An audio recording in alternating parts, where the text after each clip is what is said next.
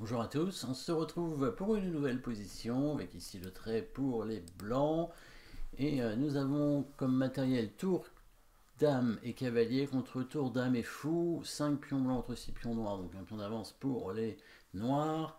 Euh, on remarquera un cavalier très bien placé ici sur une case forte hein, euh, qui ne peut pas être délogé puisque le fou en plus est de cases noires.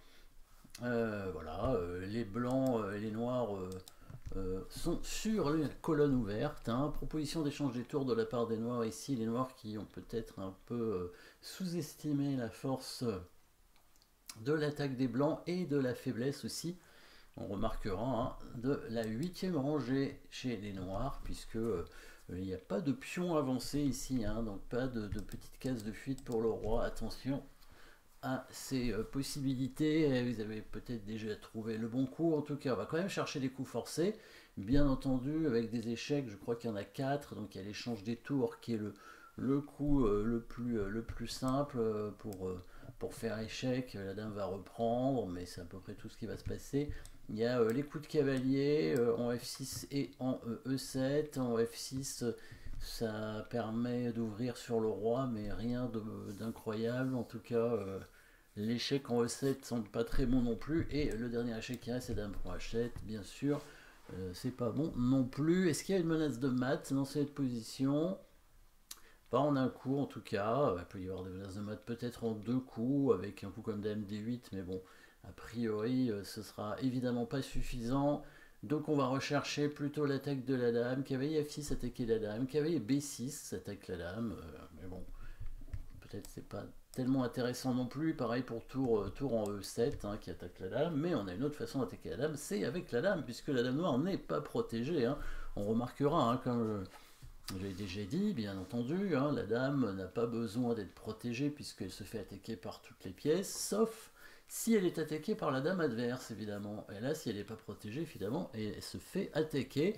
Ça peut euh, arriver dans les cas d'attaque euh, à la découverte hein, ou, de, ou de clouage même, mais ça peut arriver aussi dans des déviations comme ici. Et oui, on va dévier la dame pour pouvoir euh, arriver sur la huitième rangée avec la tour. Et même si le fou couvre, ce sera pas grave puisque le cavalier arrivera à faire échec et ce sera mat. Donc on peut dévier la dame, la dame noire ne pourra pas prendre.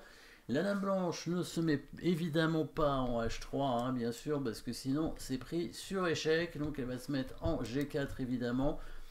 Et ici la dame prend, donc du coup, euh, dame G4, si la dame prend, évidemment, nous avons tour prend tour échec, le fou couvre, le cavalier qui arrive sur échec, et après c'est mat. Donc qu'est-ce qu'il va jouer? Eh bien il va jouer un autre coup peut-être, il va donc jouer euh, la dame, ou alors il va mettre sa tour devant. Mais, dans les deux cas, on remarquera évidemment hein, le clouage maintenant en direction du roi avec la possibilité d'attaque double, attaque euh, la fourchette tout simplement. Donc par exemple sur tour E6, eh ben, on va directement mettre le cavalier, jouant sur un double clouage à la fois de la tour et du pion. Et, euh, et du coup la dame est perdue, hein, tour F6, dame prend D7.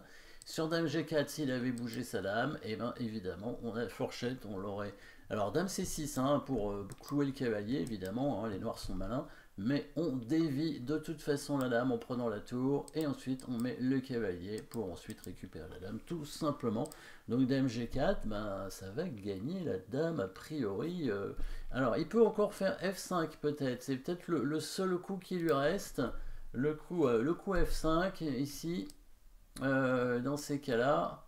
Qu'est-ce qu'on va faire? Est-ce qu'on prend tout simplement la tour? Oui, parce qu'il y a le fou qui n'est pas protégé à la fin. Voilà. On prend la tour, il prend la tour avec la dame. On fait un petit échec, donc la fameuse fourchette. Il bouge son roi. Euh, on prend sa dame. Il prend la nôtre.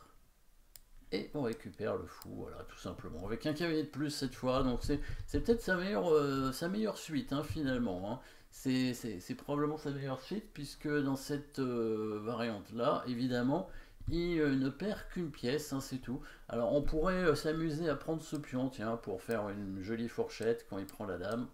On récupère la sienne, et ensuite le fou. Donc du coup, dans cette variante-là, on gagne un pion supplémentaire. Bon, on n'avait pas vraiment besoin pour gagner, mais bon, ça peut être joli. En tout cas, c'est ça, ouais, c'est probablement le seul coup, hein, F5. Et là, il faut être un tout petit peu précis. On va pas faire un échec tout de suite avec le cavalier parce que euh, finalement on va pas gagner grand chose hein, si on fait échec avec le cavalier parce qu'il aura euh, son euh, la, dame blanche sera en prise, donc le roi va bouger en F7. Si on prend la dame, il prend la dame et il défend sa tour, hein, donc là il n'y a pas de, gain matériel.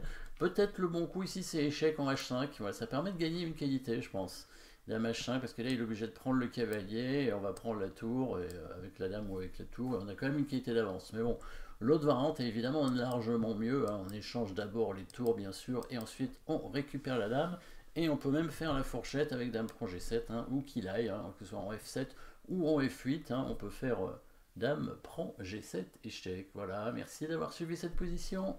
N'oubliez pas de vous abonner, et à très bientôt.